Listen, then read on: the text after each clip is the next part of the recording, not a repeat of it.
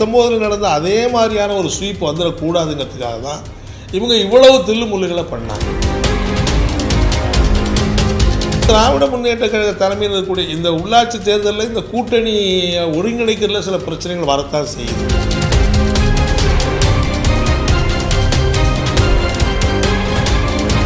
குடியுரிமை சட்ட திருத்த நாளைக்கு அமுலாட்சின்னு சொன்னால் ஒரு திட்டமிட்ட சதி அதுக்குள்ளே இருக்கு.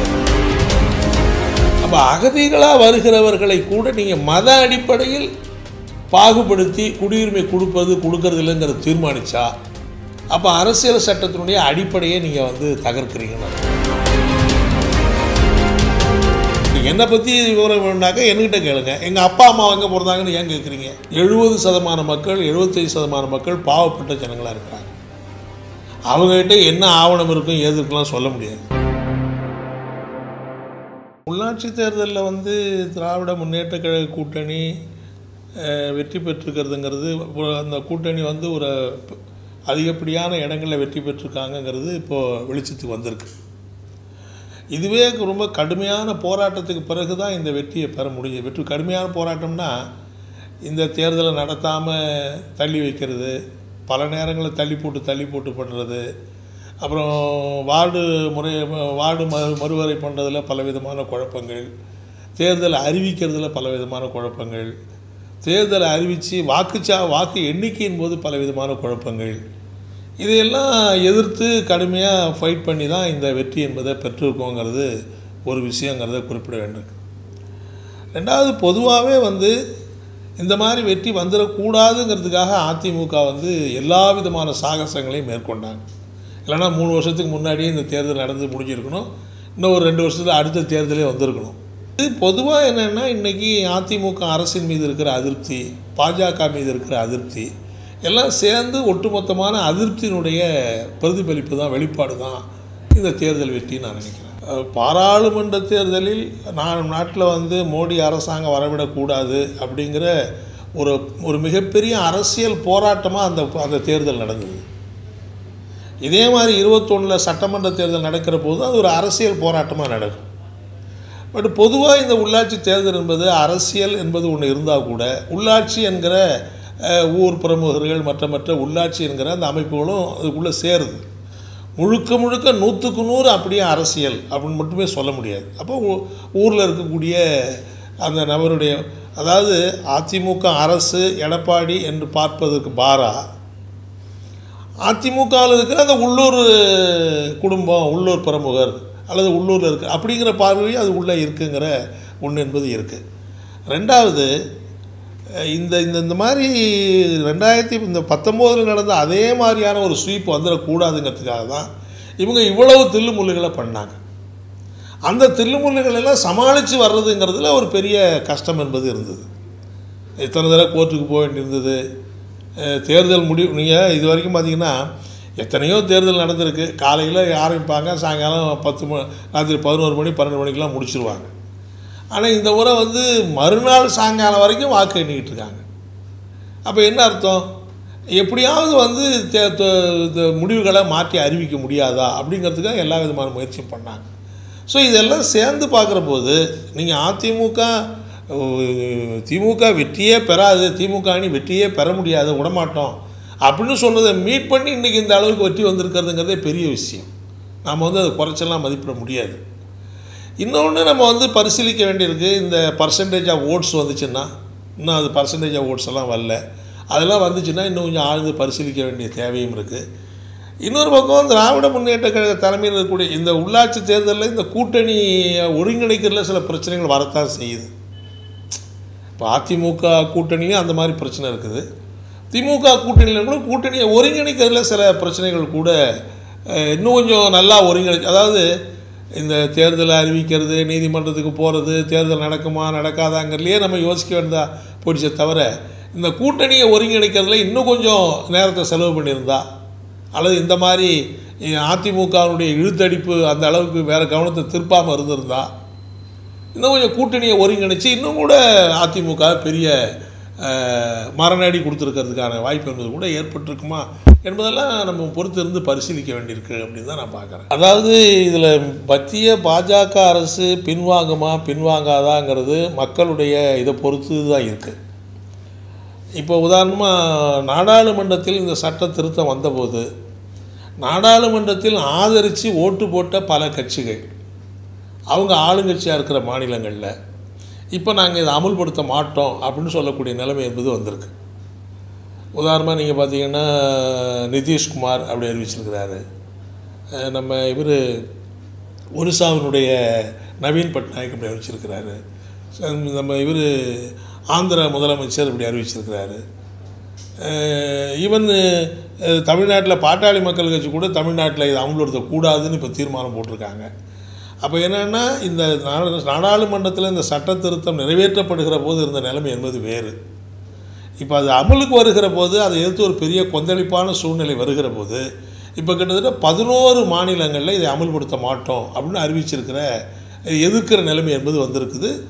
பலது வந்து மா பாஜக கூட்டணியில் இருக்கிற அரசாங்கம் உட்பட பாஜக கூட்டணியில் இருந்து அதை ஆதரித்தவங்க உட்பட இப்போ மாறு நிலைக்கு வந்திருக்கிறாங்க. ஸோ இது இன்னும் அதிகமாக அதிகமாக கடைசியில் பிஜேபியை பின்னிறுத்தள்ள வேண்டிய அல்லது பின்வாங்க வேண்டிய நிலைமை என்பது வரும். அதையும் மீறி அவங்க வரலன்னா அடுத்து அதனுடைய எதிர்விளைகள் என்னென்னு அவங்க தான் ஃபேஸ் பண்ணணும். நம்ம ஒன்றும் சொல்ல முடியாது. ஏன்னா ஒரு மாஸ் அப்சர்ஜ் வர்றபோது அரசியல்வாதிகள் சரி மக்கள் விரும்பலை அப்படின்னு சொல்லிட்டு போகிறது தான் இயற்கை. ஒரு நியாயமான மக்களுடைய உணர்வுக்கு மதிப்பு கொடுக்குறது. சர்வாதிகாரி மாதிரி நான் எது வந்தாலும் பரவாயில்ல அரசாங்கத்தை வச்சு சமாளிப்போம்னா அதனுடைய எப்படி தான் எமர்ஜென்சியை வந்து வந்தபோது இந்திரா காந்தி நினைஞ்சாங்க கடைசியில் அவங்களே வாபஸ் வாங்க வேண்டிய நிலைமை ஏற்பட்டது. அவங்களே தேர்தலில் தோக்க வேண்டிய நிலைமை என்பதெல்லாம் ஏற்பட்டது. அந்த மாதிரி விளைவுகள் தான் பிஜேபிக்கு ஏற்படுங்கிறது ஒன்று ரெண்டாவது இந்த குடியுரிமை சட்ட திருத்த நாளைக்கு அமுலாச்சுன்னு சொன்னால் இது வந்து ஒரு டெலிபரேட் பிளான் இதுக்குள்ளே இருக்குது அதாவது ஒரு திட்டமிட்ட ஒரு ஒரு ஒரு சதி அதுக்குள்ளே இருக்குது அப்படின்னு தான் நான் வந்து பார்க்குறேன். எங்கள் க பொதுவாக அப்படி தான் பார்க்குறேன். என்னென்னா அதாவது இந்தியாவில் பல மதங்கள் இந்தியா வந்து பன்முகத்தன்மை இருக்குது பல மதங்கள் இருக்குது பல மொழி இருக்குது பல இனங்கள் இருக்குது கலாச்சாரம் பண்பாடு யூனிட்டி இன் டைவர்சிட்டி அப்படிங்கிறது தான் இந்தியாவுடைய அடிநாதமே. இப்போ அதுக்கு மாறாக இவங்க வந்து ஒரு ஒற்றை கலாச்சாரத்தையும் ஒற்றை தன்மையும் பூத்துவதற்கு படிப்படியாக முயற்சி பண்ணுறாங்க இது ஒரே நாடு ஒரே மதம் ஒரே தேர்தல் ஒரே ரேஷன் கார்டு எல்லாத்துலேயும் ஒரு ஒற்றை ஒரே மொழி அப்படிங்கிற ஒற்றைத்தன்மை திணிக்க முயற்சிப்பது என்பது இந்தியாவுடைய எதிர்காலத்தையே வந்து சின்னாபின்னம் ஆக்கிடுங்கிறது ஒன்று இந்த பன்முகத்தன்மையை வந்து நீங்கள் சீர்குலைச்சிங்கன்னா இந்தியா ஒற்றுமையாக எப்படி இருக்கும்? எப்படி இந்தியா வந்து நாடாக இருக்கும்? ஒரு நாடாக உலகத்தில் இருக்கிற பல நாடுகள் வந்து ஒன்றா இருந்த நாடுகள் கூட பலது பிரிஞ்சு போயிருக்கிற சிதைஞ்சு போயிருக்கிற நிலைமையெல்லாம் ஏற்பட்டிருக்கு. நம்மகிட்ட வந்து பிரிஞ்சு போன பாகிஸ்தானே பங்களாதேஷ் பாகிஸ்தான் பிரிய வேண்டிய நிலைமை என்பது ஏற்பட்டிருக்கு. ஆனால் அப்படிப்பட்ட நிலைமை இந்தியாவில் வரலன்னா அது காரணம் என்னென்னா நம்முடைய அரசியல் சட்டம் அரசியல் சாசனம். இது வந்து யூனிட்டி அண்ட் டைவர்சிட்டி பல பன்மை ஒரு மதசார்பற்ற நாடு என்கிற இதெல்லாம் சேர்ந்து தான் இந்த நாடு இன்னும் வந்து சிதறுண்டு போகாமல் இருக்கிற நிலைமை என்பது இருக்குது இப்போ இதுக்குள்ளே நீங்கள் வந்து என்ன முக்கியமானது? இப்போ அவங்க சொல்கிறாங்க நாங்கள் வெளிநாட்டிலேருந்து வர்றவங்களுக்கு தானே இது வந்து சொல்கிறோம் உள்நாட்டில் இருக்கிறவங்களுக்கு பாதிப்பே இல்லையே. ஏன் வந்து உள்நாட்டில்? பிரச்சனை என்னென்னா இந்த நாட்டினுடைய ஒரு குடிமகனாக இருக்க வேண்டும் என்று சொன்னால் அதுக்கு அளவுகோல் என்னன்னு சொல்லியிருக்காங்க. அந்த அளவுகோல் வந்து ஒரு மத அடிப்படையிலேயோ இன அடிப்படையிலேயோ மொழி அடிப்படையிலேயோ பாகுபடுத்துவது கூடாது.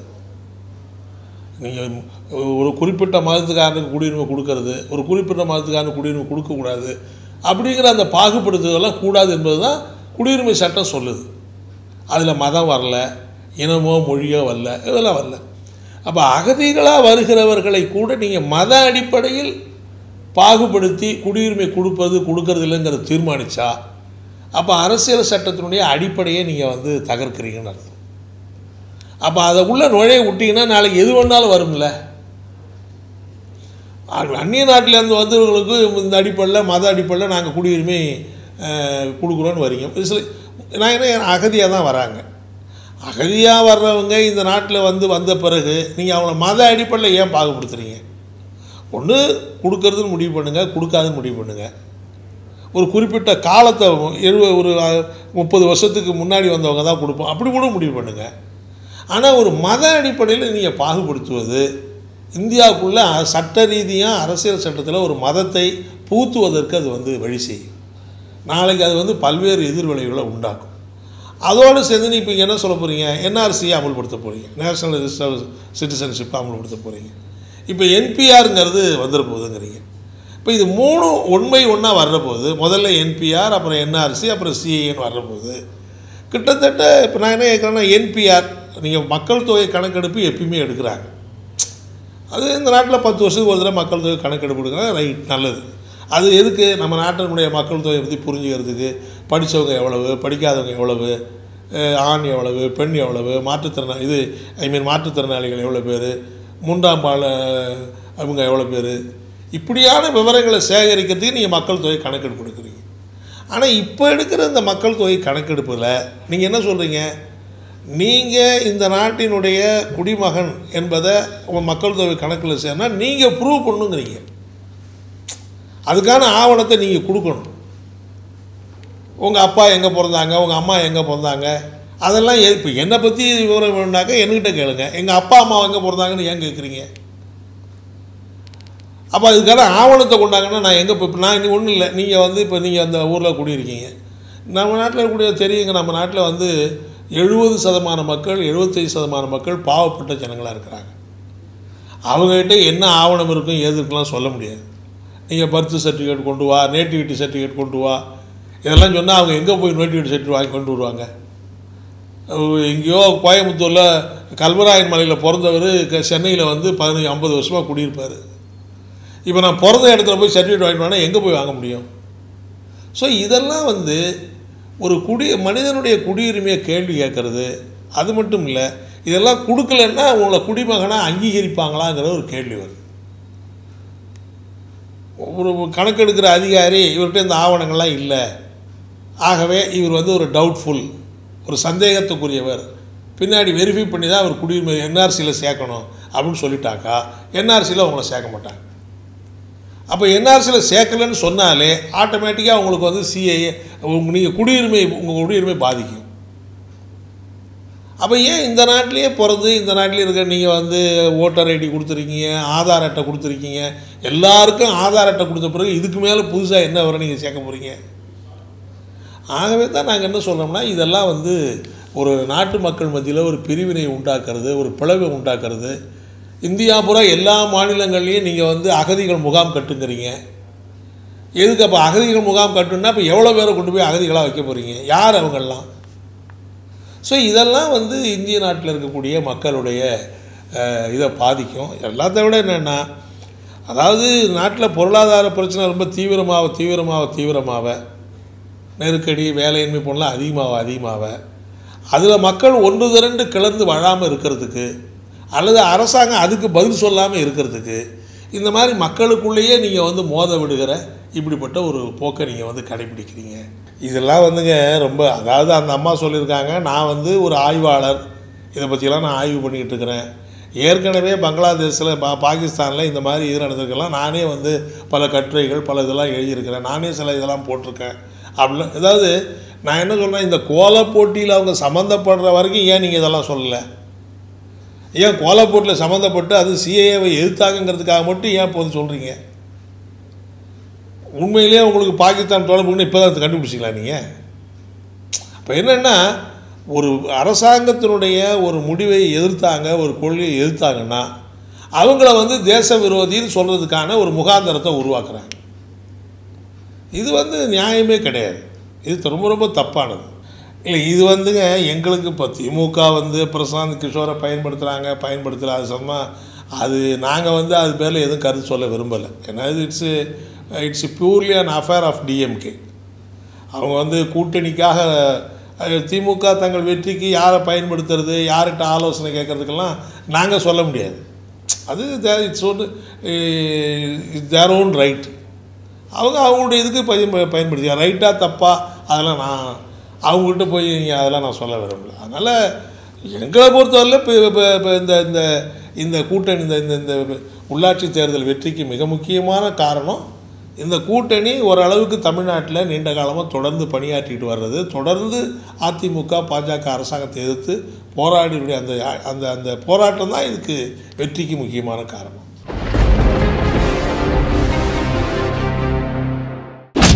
கம்யூனிசம் என்றால் என்ன?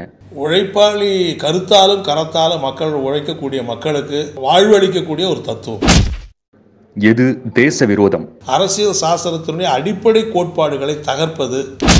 தனி மனித கருத்து சுதந்திரத்தின் எல்லை என்ன? தனிமனித கருத்து சுதந்திரம் அடுத்தவருடைய உரிமையை பறிக்கக்கூடாது திராவிட கொள்கைக்கும் கம்யூனிச கொள்கைக்கும் உள்ள வித்தியாசம்? கம்யூனிச தத்துவம் என்பது ஒட்டுமொத்தமான மனித சமூகத்தினுடைய விடுதலைக்காக குரல் கொடுப்பது திராவிட சித்தாந்தம் என்பது அதனுடைய ஒரு பகுதி.